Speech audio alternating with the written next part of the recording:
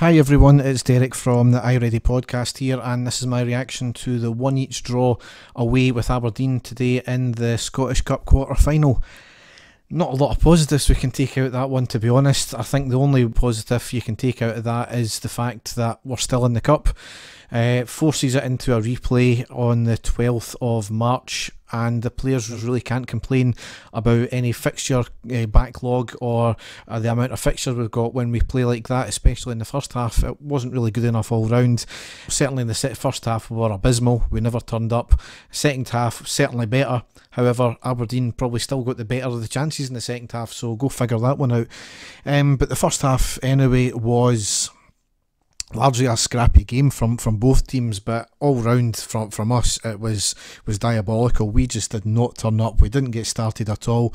Aberdeen, granted, were not giving us really any time on the ball, and they were pressing us quite well.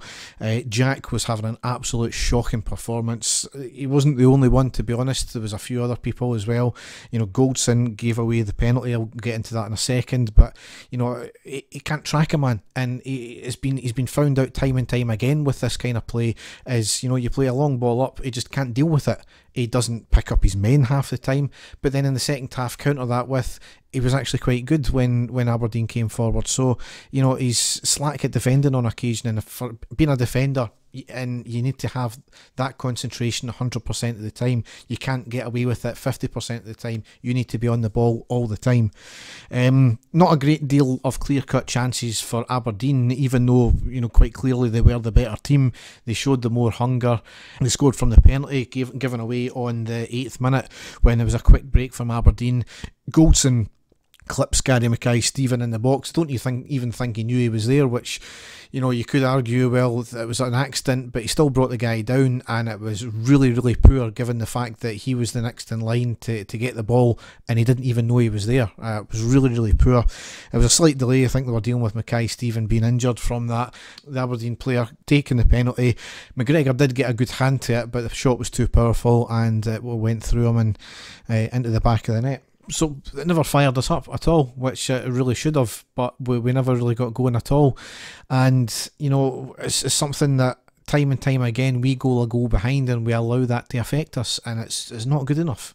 I don't know why the, the team do it. There's more than enough capability. You know, it should work as, as a catalyst to to, to play better, but it just does the opposite to this team for some reason, especially in away games. Uh, certainly at that point, you know, going into the, the, the second half, the best we could have hoped for, I think, at that point was, you know, getting the getting the equaliser and getting back to, to Ibrox, getting, taking the replay, and I think I would have been quite happy with that. And that's largely what happened. Um, we, we, we certainly started off a lot better in the second half, and straight away we got the, the goal in the 47th minute. There was a corner in from the left. Morelos done enough to put the defender off in the middle of the box, and Worrall was uh, hanging about the back post. He had jumped up, and on as he was coming down, he managed to volley the ball into the bottom right hand corner. So it was a great goal from him. He largely improved in the second half. He was, was pretty solid, and he got the, the man of the match um, from the Rangers TV point of view. But we thought we would have kicked on after that, and yeah, we did play a lot better. Some of our passing was a lot more crisper. There was a lot more fluidity to, to the play. However, just nothing clear cut. And, you know, we had a few chances and, and we were ruled offside quite correctly. We were just offside each time. And we just never, we never got the chances. And unfortunately, Aberdeen did. They had a few chances that were cleared off the line in quick succession. You know, there was one flurry where there was um, a chance that was cleared off the line by Worrall. The rebound came out to the Aberdeen player. It was struck, it hit off the play, it hit off the, the initial player who had the shot and cleared off the line and came back out. And then the Aberdeen had it. They were getting the break of the ball all the time, and we weren't. But as I've said before, you need to make that lock and get the breaks of the ball. Aberdeen had another flurry like that as well, where there was another two cleared off the line. Um, one thing I do want to say though, and it happened fairly early on in the 14th minute, Morelos was given a yellow card for diving in the box. Complete stupidity once again from the Colombian. He just doesn't learn and this is where he's a liability because I think that's what affected his game for the rest of the game after that. He knew he was on a tightrope, and to be honest, there was nothing major that he, he, he there was no major fouls he committed throughout uh, for the game, but there was a lot of niggly ones, and that's when it racks up. And he potentially was maybe lucky to stay on the field today, and I'm absolutely amazed that he never came off um, at, at half time. At least, if he never came off at half time, it should have been certainly later on to the game because it affected his game and that affected our output as well. There was a chance where he was clearly getting held, started off outside the box, went into the box, getting held, and and if he had went down, that would have been a clear cut penalty. Nobody could have argued that. But he never went down for the fact that, well, he was maybe thinking in the back of his mind, well, I'm going to get booked again. So he needs to pick and choose when he goes down. And yes, he is very cute when he goes down sometimes, and he's won us a few penalties that way. However, you can't go down when there's nobody holding you, and that's what's stupid about it. He just does not learn, and this is where he's a liability. But on the flip side of that, this is where the management should have stepped in today and really seen that because it was clear for I think for everybody to see that he was holding us back today. Yes, he's he does some great off the ball work, but you know he's caught offside. He's largely ineffectual because he can't play his normal game because he's walking that tightrope because of his own stupidity. So the management should have seen this long before, and for no subs to be made by the management today was, was absolutely a joke. It was crying out for something, especially if, if it wasn't Morelos that was needing something extra spark in midfield. Maybe bring McCrorie on for Jack. You know, swap out something, swap the wings over or whatever.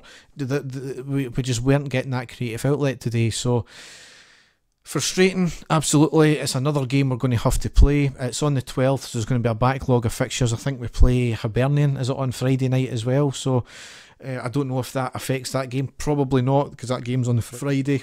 You know, it's just creating a rod for our own back now. And the players can't argue about it, and we need to be we, we need to be playing better than that. The only kind of, as I said, the only positive you can take out of it is we're still in the cup, and the next the, the replay is obviously at Ibrox, which you know we, we've been playing a lot better there than we, we generally do away this season. So hopefully that works in our favour. Uh, once again, the fans are put out of pocket because it's another twenty-eight pound they need to spend for that. But you know, that's part and parcel of it. I hope to God we absolutely shaft Aberdeen and tell them to fuck off with their allocation after what they've done to us today, because that stand behind the goal. Once again, there was even less fans in that in the, in the, than there was in the, the league game we just played them in there. So I hope we tell Aberdeen to get to fucking just you know just cram them in the corner and take any fine that's coming our way because it's not good enough. But anyway, as I said, uh, the eighth will be the, the next game against Hibs, another another major game. You know they obviously got beat off Celtic yesterday, so we'll we'll see what happens in that game. But so all that's left to say is thanks for listening and goodbye.